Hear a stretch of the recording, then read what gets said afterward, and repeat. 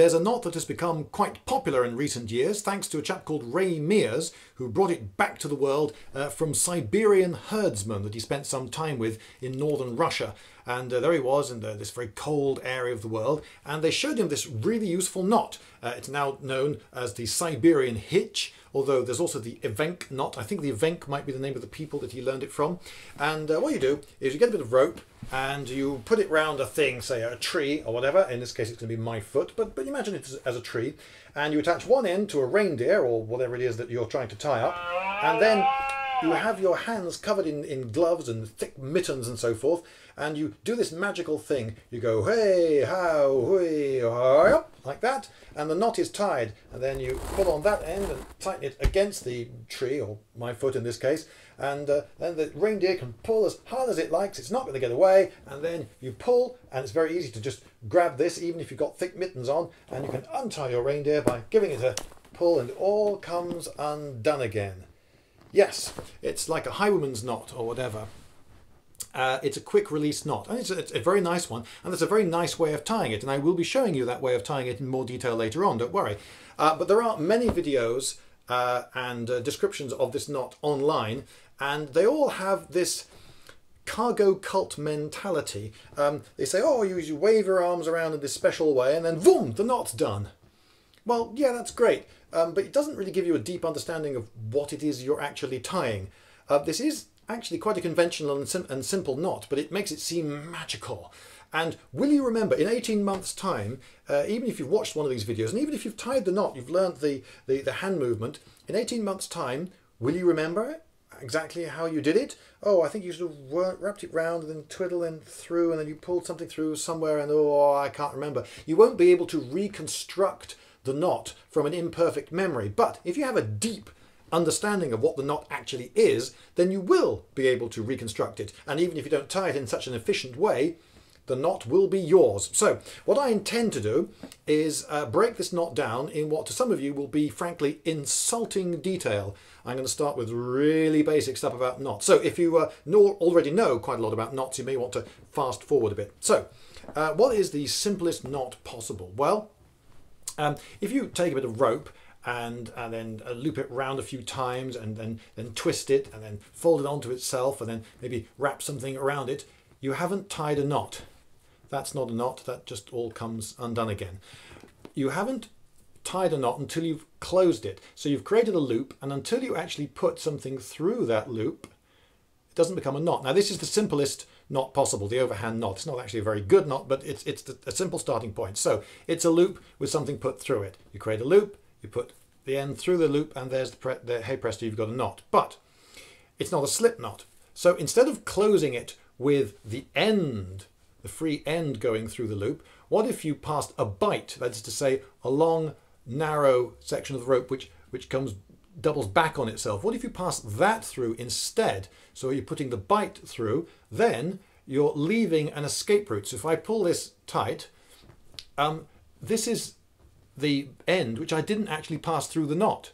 So if I pull that bit of that bight that closed the loop, that created the knot, is pulled back the way it came and bing! And that's how all slip knots work. So you create a knot of some sort, but you leave an escape route by not passing the end all the way through and instead passing a bite, a loop that goes through. Now, a slightly better knot than the overhand knot is the figure of eight knot. And the figure of eight knot looks like that, okay? And you can probably see why that's called a figure of eight knot. It looks a bit like an eight. It's worth getting to know this shape, getting very familiar with it, because it is the basis for an awful lot of other knots. Now, you can, of course, tie a slipped version of this by, instead of closing it with the end going through, you pass a bite through like that, and then you end up with a slipped figure of eight. So if I pull that tight, I didn't do that very well. There we go.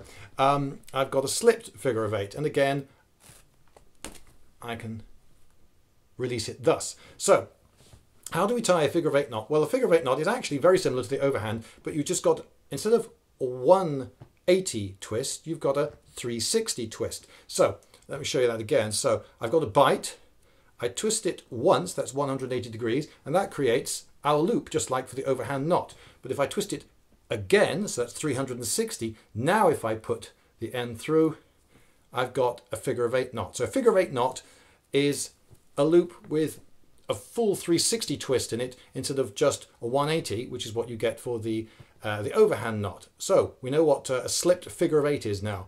So what if I tied a slipped figure of eight by twisting a bight twice, putting the end through, and that's quite, uh, by the way, that's actually a very good way to, to learn to tie a figure of eight knot. Twist a bight twice and pass the end through. Much better than most of the ways you'll see in books. Um, and before I uh, close this, before I pull it tight, what if I were to pass the standing end around a thing like a tree or my foot and then thread it through this knot. So I thread it through like that. And this will take some while with a, a long length of rope. But then when I pulled it tight, then I could tighten the whole thing onto the tree, or in this case my foot, and I've got it. That's the knot. And if I then pull this, it releases. Terrific. Okay, so what we've got is a figure of eight knot slipped with the standing end passed through it. So now let's go to the method for tying the evenk, the Siberian hitch. So you've got the two pieces of rope in your hand. This one goes to the reindeer. Okay, with the thumb of your left hand, you just hold that ready. Okay, we'll be using that later. Then with this hand, you wrap it round once. Now, why do you wrap why do you do that? Why do you wrap round once? Well, what you've done is you've just created a single loop. That's it. It's one way to create a single loop. So if I take, make a bight and twist it half like that, that's the same as that. That's all that is. Okay, so now I'm going to twist, whoops, now I'm going to twist this like that. So I'm, I'm bringing the uh, the palm of my hand down away from me and up. Okay, what does that do? Well, all that does is put an extra twist in this. So I have a bight, I twist it twice, and I'm ready to tie my figure of eight knot, remember? So I have a single loop, and now by just by just twisting it once more, by just doing that, I'm putting another 180 degrees of twist in. Okay, so now there's a 360 degree of twist here. So there's a single loop and there's the 360 degree loop. Okay, so back to here. Boom, je shabba. I've now got 360 degrees of twist. Now, if I pull this, which is the free end, through the loop like that, then I've created a slipped figure of eight but I haven't captured this. So what I do is as I twist, I bring my hand over the standing end, which is attached to the reindeer, like that. So then, when I grab the free end and pull it through, it captures the standing end. Okay? And the nice thing about this, another nice thing about this knot, is that pulling on this loop here, which is where you have your hand anyway, is a very good way to tighten it. And now, if you pull on this end, it will tighten onto the tree, or in this case, my foot. And then with your mittened hand, you can release it. So, to tie the evenk, the Siberian hitch, hey ho, hey jump, done. Okay, so you can call it a, a, a, Siberian hitch if you want like. You can call it an evenk knot, or you could call it a slipped figure of eight with a captured standing end. Goodbye. So here are the knots again, but this time viewed as if you were yourself tying them. Now, if you're the sort of person who can somehow manage to put the end in the wrong way round, just remember it goes over, under, over, under, alternating. So, if, as here, the last thing the free end does is go under the standing end, then the next thing it will do is go over the next piece of rope that it encounters. Uh, obviously, if it was going over, then it goes under. You just alternate, whichever way, just, just alternate and there's a figure of 8 knot. Okay, so same thing again, only this time, leaving quite a long free end, we'll put in the 360 twist and we'll put in a bight through that loop. And so this will become a slipped version of the figure of eight knot. Ease it tight. Don't pull on the free end at this point, but as soon as you want to release, pull on the free end and bing, done. So here we go. The Evenk knot, the Siberian hitch. Wrap it around your hand and then bring it over and putting in the extra twist there. Then reach through, get the free end. You need plenty of length on the free end to make this easy and then just pull on the loop and it will tighten.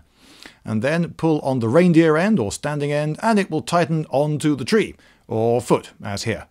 And then, even with thick mittens on, it's easy to release your reindeer. Ah!